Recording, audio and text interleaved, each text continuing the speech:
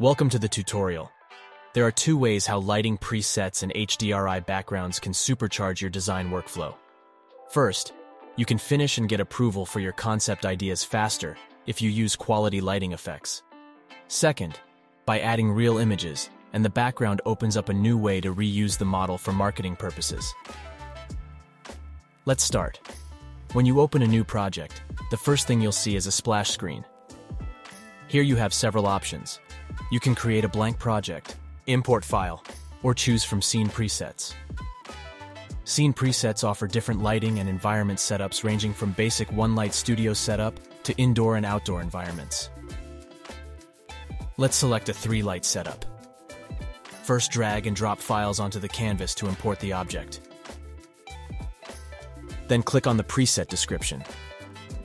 In this panel, you can view the scene settings, light setup, and effects used in the preset. The drop-down menu provides three size variants, each with different light positioning and intensity, allowing you to choose the one that best fits your object. For our object, the 100 centimeters variant works best. Now, open a preset group. Inside, you'll find a placeholder object. This object serves as a safe zone for your actual object, but we won't be using it in the future, so feel free to hide or delete it.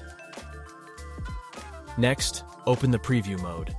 Here you can see that the light setup is already well suited for our needs, and we can use these presets without making any adjustments.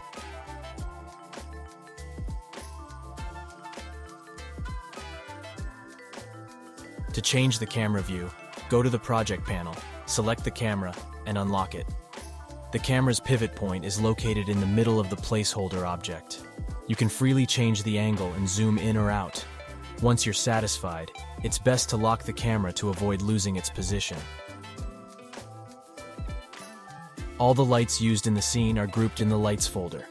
You can select each light individually and adjust its intensity, enable or disable shadows, and even change its color.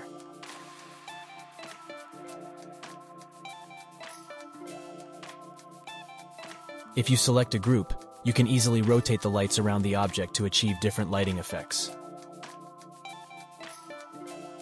All the studio presets use a white flat HDRI. If you wish to change it, you can. Go to the Environments menu. Choose between Studio and Outdoor HDRI. The HDRI also provides atmospheric lighting for the scene.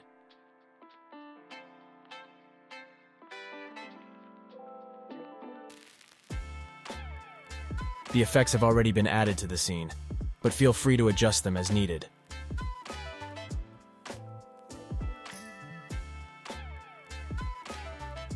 The presets also include outdoor and indoor setups. These work the same way as the studio setups, but only offer one size variant as they are intended for larger objects.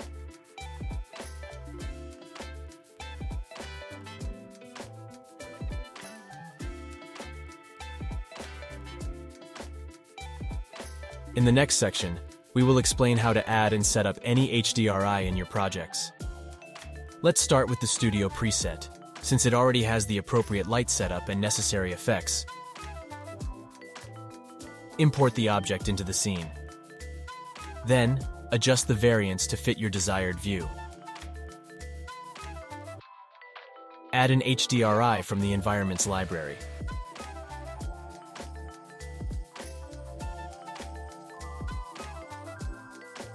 Open the background settings and choose the environment from the drop-down menu. By default, the blur is enabled, but you can disable it if you prefer. Use the preview mode to inspect the changes.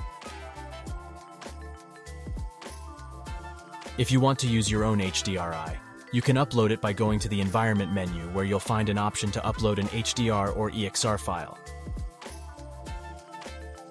The HDRI we'll be using is from polyhaven.com. Keep in mind that HDRI size increases significantly with resolution. We recommend using an HDRI with a maximum resolution of 2K. Next step is to upload the HDRI. In the environment settings, you can adjust parameters such as intensity, rotation, and saturation.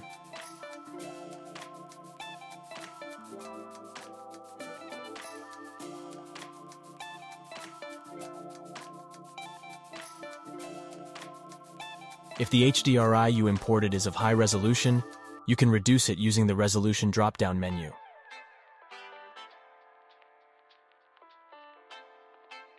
In the background menu, enable the ground projection. This option projects the HDRI onto the ground plane, creating the illusion that your object is placed within the environment. Adjust the size of the projection to best fit your object.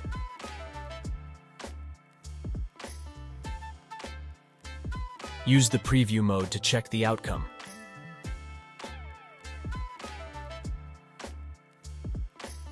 If the scene appears too dark, increase the intensity of the environment. Additionally, you can adjust the intensity and color of the key light to achieve a better blend with the environment.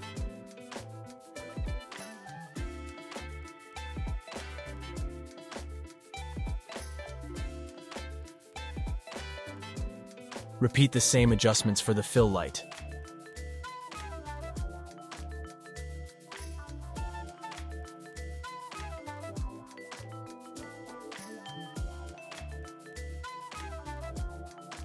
To display the ground shadow, enable the ground plane. Since the resolution of the HDRI projected on the ground might be low, we'll add a separate plane with its own texture and blend it with the environment. Add a plane and increase its size.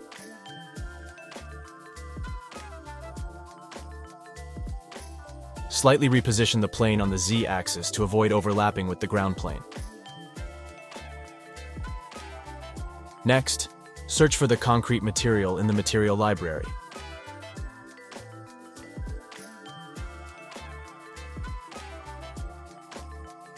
To enhance the details on the plane, increase the tiling of the color map, roughness map, and normal map textures.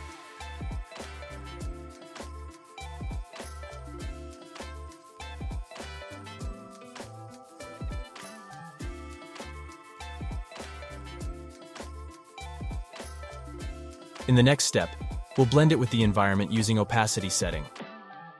Click on the opacity map and choose radial from the drop-down menu. Set the outer color to black. The grayscale values represent the opacity where black means completely transparent and white is fully opaque. To further enhance the blending, add an overlay effect to the color map texture. Select a color and adjust the saturation and brightness settings.